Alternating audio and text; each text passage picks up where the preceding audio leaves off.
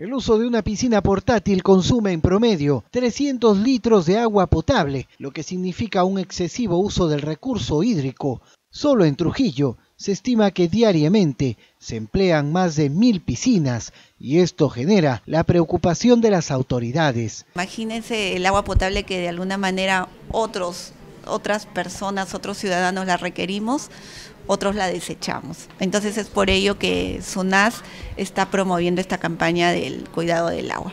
La jefa regional de la SUNAS pidió a los liberteños tomar conciencia de esta situación, ya que el mal uso del agua produce un suministro deficiente a otras viviendas. Eh, eh, de acuerdo a la Organización Mundial de la Salud es 250 litros que, eh, que 100 litros por persona que debemos consumir y muchas veces llegamos a incrementar hasta 250 litros. O sea, estamos hablando muchas veces eh, el doble ¿no? De lo que realmente deberíamos consumir. De otro lado, la funcionaria informó que durante el 2017 el Tribunal Administrativo de Solución de Reclamos atendió más de 2.000 denuncias contra Sedalit.